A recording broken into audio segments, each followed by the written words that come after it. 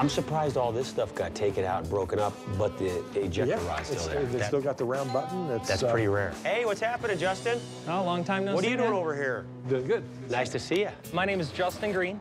I run a secondhand consignment shop down in Colorado Springs. The majority of my business is firearms and edge weaponry.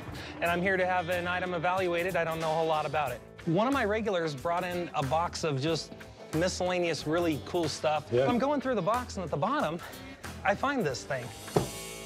It looks to be maybe part of an axe or something like that. Hmm. People come in, they bring in a little piece of metal or a chunk of a gun or something. and They go, "What is this?" Well, how, how do I know what it is? But fortunately, I got Bob here, and a lot of times that little thing, he knows exactly what it is.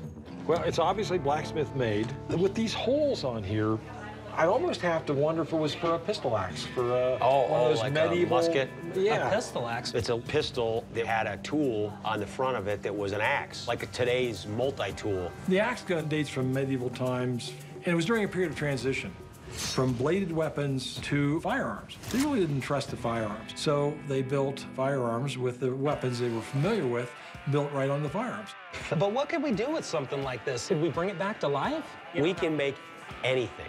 Okay. He's got an idea what he wants. It's in his head. I got to get it out of his head, make it bigger and badder, so when I hand it to him, I can see his eyes pop wide open, and he's in love. You know, it could have been put on anything. I oh, mean, yeah, they, on cannons or mortar. Hard to swing, but yeah. A mortar. Back in the pre-Revolutionary War days, they had what was called a shoulder mortar.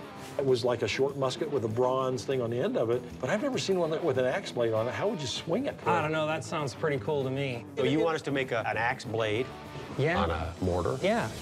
That'd be That- kind of cool. Be that sounds big, pretty awesome. powerful. I, th- I think the mortar sounds up my alley. We can do whatever you want, no doubt about it. Axe mortar just to me makes no sense whatsoever. We're talking about two separate periods. I really like to stick to the actual pure historic value of a gun when we're making it, but with this one, it doesn't fit any particular mold. It's what the customer wants, so we're gonna make it, and that gives us creative license to do whatever we want.